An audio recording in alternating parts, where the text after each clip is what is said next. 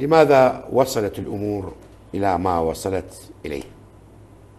اولا تحياتي لك أستاذ نجم وإلى جمهور قناة التغيير وإلى كل المستمعين والمشاهدين الذين يتابعون هذه الحلقة.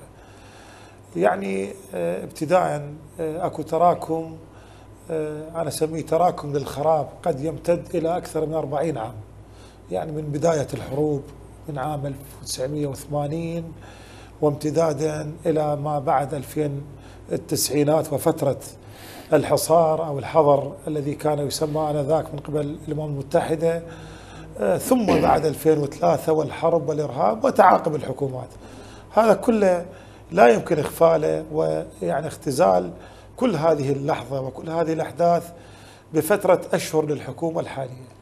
هناك تراكم للأخطاء هناك تراكم للمغانم هناك تراكم لكل الفشل الذي حدث منذ فترة طويلة. طبعا قطعا ما يحدث في العراق هو جزء من يعني اختلال بالعدالة الاجتماعية.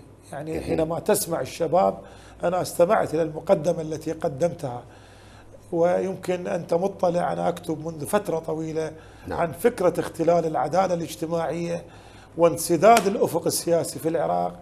والذي قد يؤدي إلى الانفجار في أي لحظة.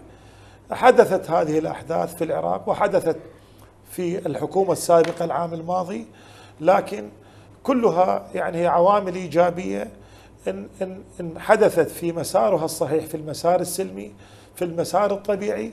إذا كانت هناك طلبات حقيقية تقدم إلى الحكومة باعتبارها يعني تظاهرات يعني جهات ضاغطة على الحكومة وما كما قلت أنت في مقدمتك أنها هي مفيدة للحكومة لربما تضغط على الجهات السياسية على الكتل على البرلمان لتمرير الكثير من المشاريع. ومن ذلك مشاريع الانتخابية مشاريع اقتصادية مشاريع مجلس الإعمار مشاريع مجلس الخدمة الاتحادي. هذه كلها قوانين تهتم بمتطلبات الشعب سواء بالخدمات أو بفرص العمل بتحقيق العدل الاجتماعي وسيادة القانون.